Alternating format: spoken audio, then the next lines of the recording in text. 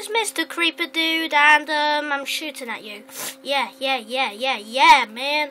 Okay, um, I just want to say I've I've done my SATs tests. So today's the first day, and yeah, I've done my SATs. Um, all the year six have done their SATs, and I'll be moving on to high school or middle school. That depends where you are from. And I just want to thank my, the people who teach me. So all of the teachers, all of the people who teach me, and I'll probably I'll miss my friends as well because I will be I w- um, won't be going to the same school as them. So yeah, most of my friends are going to this school in, Rodillion.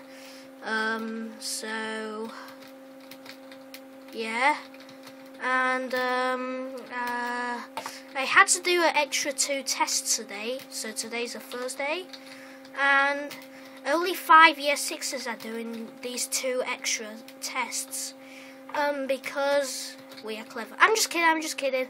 Um, yeah, all right. It's kind of linked to that. Um, so I am a level six at at the subject maths in school. That means we are at the moment le- currently learning. Um, year 7, year 8. So high school maths. That's level 6, I think. Yeah, that's level 6. And, um, oops. And I think I actually did really well on the second on the second extra math level 6 maths test, but I did not do it. But I did not do that well on the first one. Um, because you know, it's my opinion. I, I, I don't, I don't know. And oh, that's my horse. Um, yeah, that's all I just wanted to say, and I'm very happy that SATs is over. So this is just an update of what happened, and I'll um, I'll be sure to miss my friends as well and the school.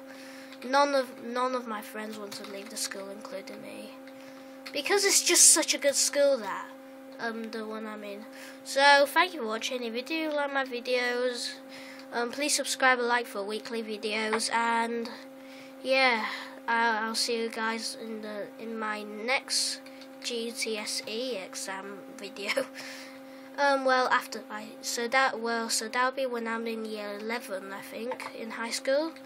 So I'll be carrying doing these videos uh, and other stuff. So yeah, I hope you guys enjoy my update. Hi, villager.